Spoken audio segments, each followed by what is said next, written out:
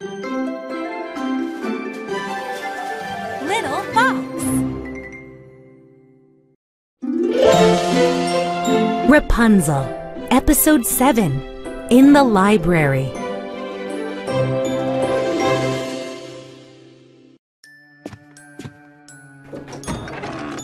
Rapunzel stepped slowly into the library. Prickle darted under a bookshelf. Rapunzel tiptoed across the room. Come out, Prickle. She whispered. Right now, or we'll be in big trouble. Rapunzel looked at the bookshelves. There were so many magic books. I'll look at just one. Rapunzel thought. She opened a small book of potions.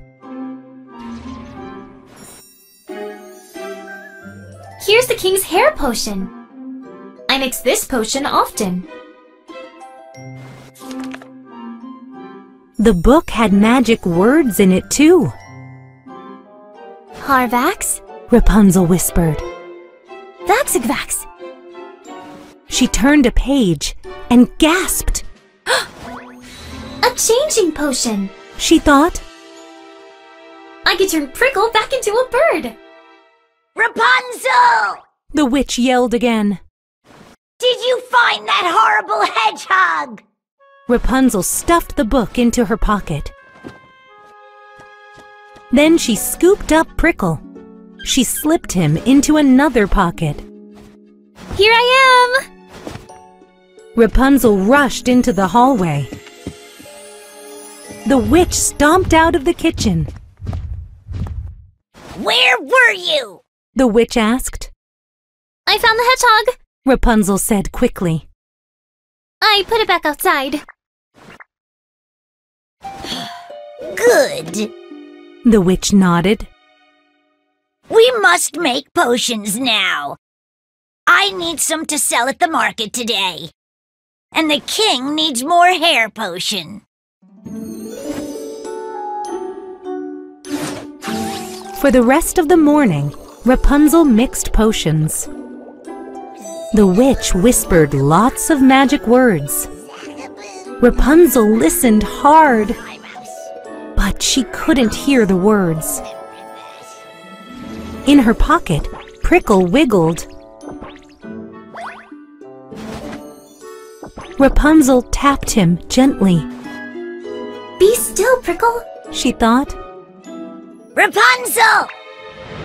The witch frowned. What's in your pocket? Rapunzel jumped. Her arm bumped the bottles of hair potion. The bottles tipped, and then splash! Potion spilled all over the table and floor. It splattered Rapunzel's face and clothing. Rapunzel! The witch cried. Clean up this mess at once! You spilled hair potion everywhere!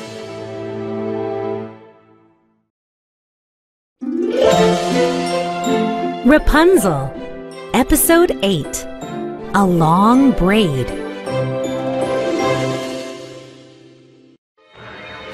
I'm sorry. Rapunzel said.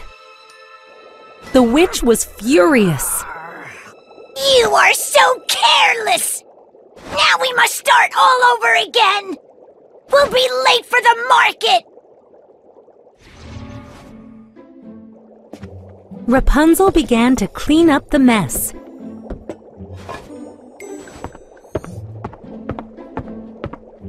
She wiped up the potion on the table.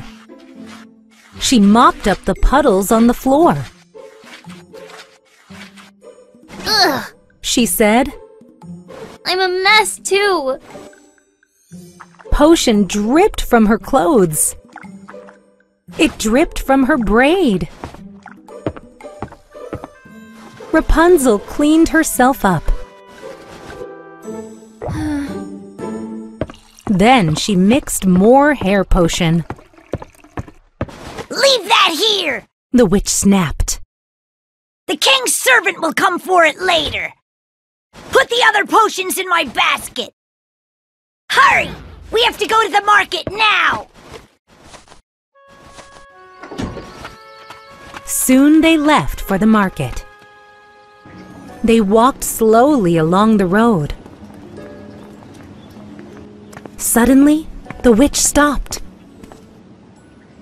She stared at Rapunzel. Oh no! Rapunzel thought. Prickle was moving in her pocket. Could the witch see him and the magic book? What did you do to your hair? The witch snapped. My hair? Rapunzel said. Nothing. Why? Rapunzel touched her braid. It was still wet. Hmm. She thought. It also felt longer. Rapunzel looked down and gasped. Her hair was growing to her knees. You silly goose! The witch cried. You spilled hair potion on your hair! Rapunzel's hair kept growing. Soon, her braid touched the ground. My hair is so long. Ugh. Rapunzel moaned. Can you cut it? The witch shook her head. I didn't bring scissors! You'll have to wait! At the market, Rapunzel set out the potions for sale. A boy came over. What happened to your hair? He asked. Rapunzel looked down, about to cry. Her head felt so heavy. And when she looked up again, everyone was staring at her.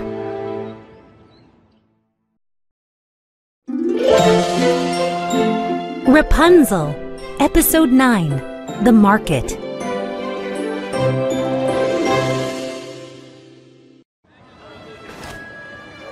I'm sorry. The boy said quickly. I didn't mean to upset you. Your hair is really pretty. Rapunzel looked at the boy. He had a nice smile. He was very friendly. She tried to smile back. Thank you. The witch stomped over to them. Go away, boy! We're busy! Rapunzel blushed. The witch was so rude sometimes. Just then, a woman hurried over. Do you have a beauty potion? She asked. Of course. The witch said. She began showing potions to the woman. The boy stepped closer to Rapunzel. He grinned. I wish I worked for a witch. You must learn so much magic. I love learning new things. So do I. Rapunzel said. Then she sighed. But I don't learn much magic. And living with a mean witch is lonely. Just then, several farmers walked by. Rapunzel blinked in surprise. My parents are with them. She thought. What's the matter? The boy asked. I'll be right back. Rapunzel whispered. Can you keep the witch busy? The boy glanced at the witch. I'll try. Rapunzel hurried off. She slipped through the market. Then, oof! She tripped over her braid. Rapunzel got up and dusted off her hands. She stared at her parents. She had not seen them for years. Will they still know me? She thought. Mama and Papa moved away through the crowd. Rapunzel started after them again. This is my chance. She thought, Finally, I can talk to them. Stop! a voice growled. A hand gripped her arm. Rapunzel spun around. It was the witch. The witch stared at the farmers. Her face turned dark. Her nails dug into Rapunzel's arm. You were running away from me!